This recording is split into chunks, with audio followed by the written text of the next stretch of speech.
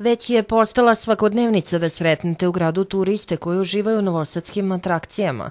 Brojne ponude festivala i manifestacije obeležavaju letnji period, te se očekuje da će u narednim mjesecima biti sve više turista.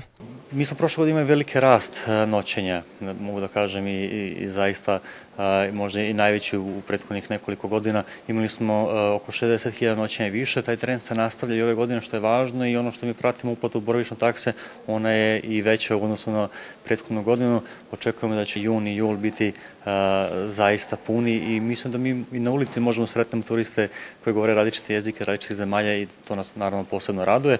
Nedavno je završena manifestacija Dani Vojvodine u Beogradu i kako navodi Branislav Knežević, direktor Tonsa, izuzetno je bitno predstaviti ponudu i Beograđanima. Oni rado posjećuju Salaše, Frušku goru i ostale atrakcije. Pored ponude za Beograđane, uskoro će novosadjani moći da obiđu i malo bolje se upoznaju sa svojim rodnim gradom. Ono što je također interesantno da najavim jeste da će od sledećenja biti dostupno blokiranje besplatnih tura za sve novosadjane i novosadjanke, za sve turiste koje postoju Novi Sad. Također pozivam sve naše ugrađene da prate sajt turističke organizacije i da zaberu jednu od četiri ture. Dve su tematske, Novi Sad iz ženskog ugla, Novi Sad iz jevrijskog ugla i dve standardne, Saragradsko jezgo i Petrovajenska sređava. Ako želite saznati kojih 12 novosadjanki je ostavilo traga u istoriji Novog Sada, onda je tematska tura Novi Sad iz ženskog ugla baš za vas.